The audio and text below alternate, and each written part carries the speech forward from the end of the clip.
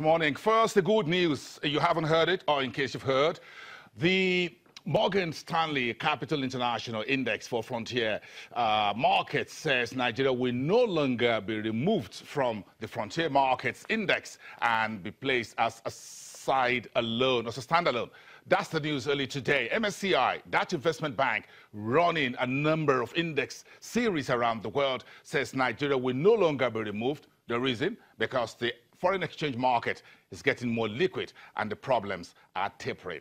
That's the big news and the good news this morning. So Nigeria still remain within the MSCI Frontier Markets Index. You can find it there. Let's go on. At the London Stock Exchange, live to us, you have this morning the governor of the central bank, the honorable minister in charge of solid minerals and other top Nigerians, part of a whole day event taking place. We called it the Nigeria Capital Market and Banking Forum. Ike Chioke is the chief group CEO of Afrinvest and is live to us from the London Stock Exchange. Good morning. It's good to see you, uh, uh, uh, Ike. It's good to have you there. Thanks for coming. Good morning, Brazil. How are you? You guys are having fun. I'm sure you've uh, you've listened to uh, Godwin Emefiele that spoke this morning, and of course, this event is continuing, culminating later in the Afrinvest uh, banking report for 2017. What did Emefiele and others say, and the Minister of Solid Minerals, what is the message that Nigeria has for the global investment community this morning? Interestingly, the message is the same thing as is, uh, the title of our report. The message essentially is Nigeria has reopened for business. And Godwin Emefiele very succinctly articulated the broad range of reforms that it has um, managed through the, in the, in the, through the central bank and the changes that has occurred during his uh, stewardship has brought Nigeria out of the recession that we saw in 2016 to now that we've seen positive GDP growth.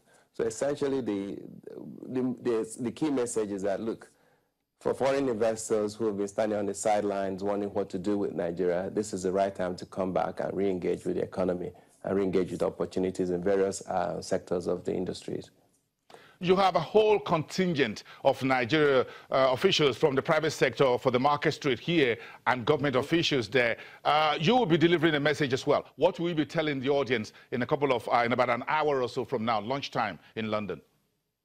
I'll be telling the audience that you may look at the glass as half full or half empty, you know, but it's still there. And from our point of view, we like to stand on the side of optimism, optimism that the glass is actually half full and not half empty. Because once you've gone through creating a more stable macroeconomic environment, then what you have to do, the next step is to pursue the reforms that are working, such as in agriculture, um, in the ease of doing business, some of the soft infrastructure areas. We've done some work already in the power sector that could be further strengthened. There are ideas of doing more work as, in terms of reforms in the oil and gas sector. But then building up on that, Nigeria then needs to focus on things like hard infrastructure in you know, rail, in transportation, in aviation, in ports to make ease of doing business even much stronger before we then can build onto that to get to the greater industrialization of the economy. So we look at it from a broad brush that today we have the environment, the macro environment stable enough for, for investors to now begin to think long term, not just trying to do short term deals uh, trying to do, uh, you know, uh, round tripping or foreign exchange or arbitrage opportunities, but knowing that uh, given a country with 180 million people growing at 2.8% per, per year, there's a huge opportunity to lay the foundations for long-term sustainable business. A final one, very quickly. Just this mm-hmm. morning, the MSCI says Nigeria will no longer be removed from the frontier market uh, index. Mm -hmm. That's good news you can use as part of Absolute, the talking point out today, isn't it? News. Yes, indeed. Very reassuring news. Again, it underscores the size of the Nigerian economy. Um, and in fact, if you look at Nigeria, and uh, someone was talking about, you know, should I go to West Nigeria or go to other countries in West Africa to invest? But the statistics prove that the economy of Lagos is more than double the size of all of Ghana. So clearly, the way the MSCI has recognized Nigeria, you know, is, is more um, is more emphatic in, in stating that indeed this is a, an economy to watch out for. There was a very interesting presentation this morning by Andrew Nevin of PwC, which showed the growth trajectory of Nigeria that in, in year 2050 will be the third largest uh, population uh, region in the world. And also the economy is going to be growing like that.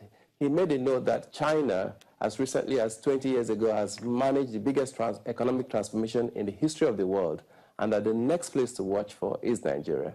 And so, indeed, this, uh, this uh, investment forum is coming at a very topical moment, and we wanted to seize the opportunity to you know, lend our voice to the international community that Nigeria is indeed open for business. This is time to come back. Mr. Ike Chioke, thank you very much for uh, all of you doing Nigeria proud there at the London Stock Exchange today and the rest of your uh, team. And do come back here safe. Let's see you again next week sometime uh, from